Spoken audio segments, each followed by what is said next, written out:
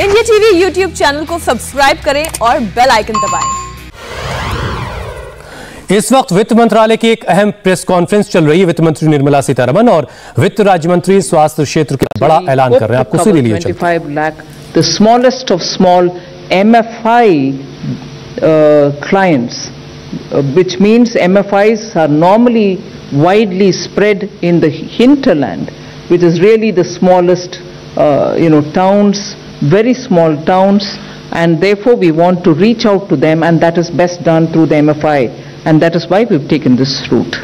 So there will obviously will be uh, a joint lending group kind of a framework wherein the NBFC, which has a link with them, the MFI, will all be in the loop.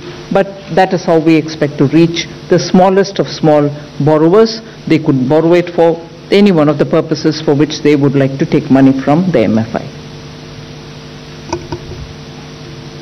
Credit guarantee scheme ये बिल्कुल नई योजना आपके बीच में लेकर आए हैं, जिसमें इसमें क्रेडिट गारंटी स्कीम के माध्यम से 25 लाख लोगों को इसका लाभ मिलेगा और ये माइक्रो फाइनेंस इंस्टीट्यूशंस के माध्यम से इसको दिया जाएगा। सवा लाख रुपए तक का ऋण इसमें मिल सकता है और लगभग 25 लाख जो छोटे करदाता, कर्ज, कर्जदाता हैं, उधारकर्ता हैं, उनको इसका लाभ मिलेगा। और इसकी जो कैपिंग की गई है, ऋण की, वो लोन फ्रॉम बैंक्स उसको कैप किया गया M C L R plus two percent इससे ज़्यादा नहीं हो सकता। आरबीआई की गाइडलाइंस जो निर्धारित हैं, उसके अनुसार ही इंटरेस्ट रेट दो प्रतिशत कम होगा मैक्सिमम प्रिस्क्राइब रेट से कम होगा, निर्धारित रेट से दो प्रतिशत कम होगा।